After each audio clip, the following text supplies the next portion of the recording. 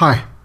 Now for this next part, part B, we've got to use the result in part A to show that sigma of r cubed minus 2 going from r equals 1 to n is equal to a quarter n all multiplied by n cubed plus 2n squared plus n minus 8.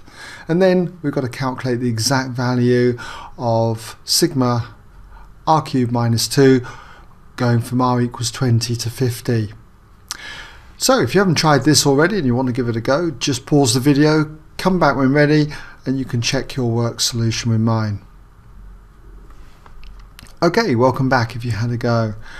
So first of all, what I'm going to do is just copy down what we're asked to show. That is sigma of r cubed minus 2 going from r equals 1 to n.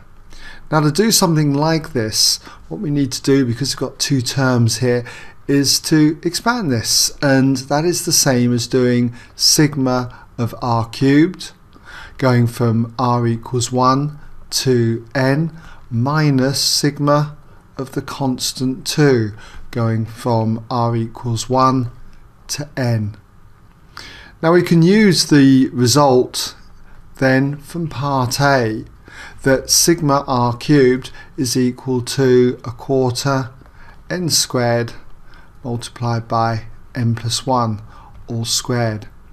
Now when it comes to minus sigma of a constant, in this case 2, we're adding up 2 n times. So the result is going to be 2n. So we're going to subtract 2n from here.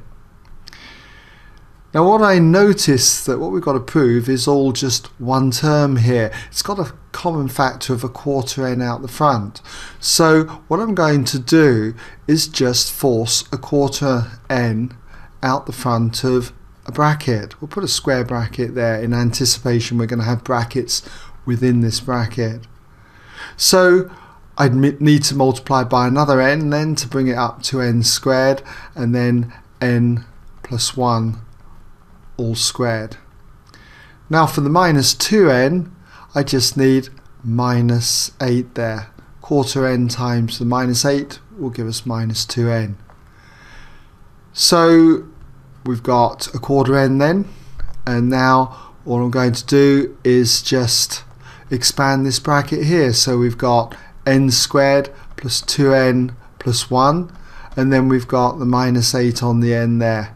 And then if I just multiply out what we have in the square bracket, you'll see that gives us what we want. n cubed plus 2n squared, then plus n, and then minus the 8. And there you have it, what we had to prove. Okay? Now for the next part, part C, okay, Calculate the exact value then of r cubed minus 2 going from r equals 20 to 50 when we sum it.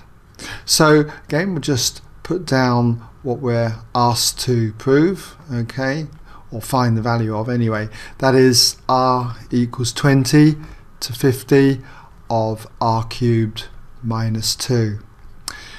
Now when you're doing something like this, first of all we notice that is starting from 20, not from 1. So to get around this problem, all we do is we say this is the same as the summation, r going from 1 to 50 of r cubed minus 2. And then we subtract sigma r going from 1 to the term below 20, which has got to be when n equals 19. And that's going to be r cubed minus 2. Okay, so what we can do now is just put in these values that we've got from part B here. So for this first one, n is 50, so we've got 1 quarter then multiplied by 50 and then that is all multiplied by 50 cubed plus 2 times 50 squared plus 50 and then minus 8. So we've got that one and then we've got to subtract. Let's just force it down here.